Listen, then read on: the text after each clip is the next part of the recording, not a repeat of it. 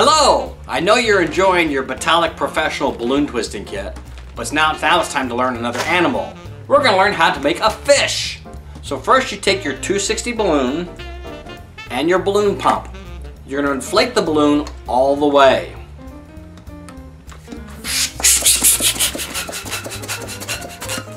But don't tie the knot yet. You're gonna let, let, it, let a little bit of air out.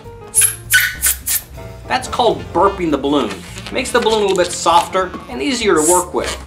After you've burped the balloon a little bit, go ahead and tie the knot. Next, you're gonna fold the balloon in half so the two ends match.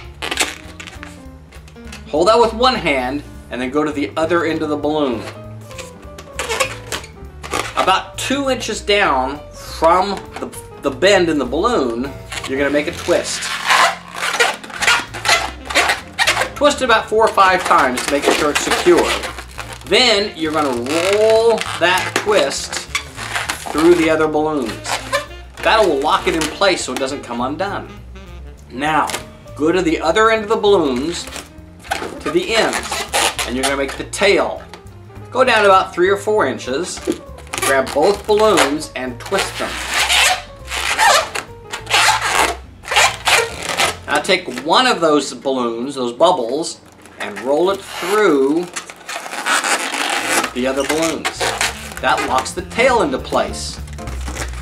Now squeeze the balloon together to make it a little more round, a little more fish-like. And now you've got yourself a cute little fishy.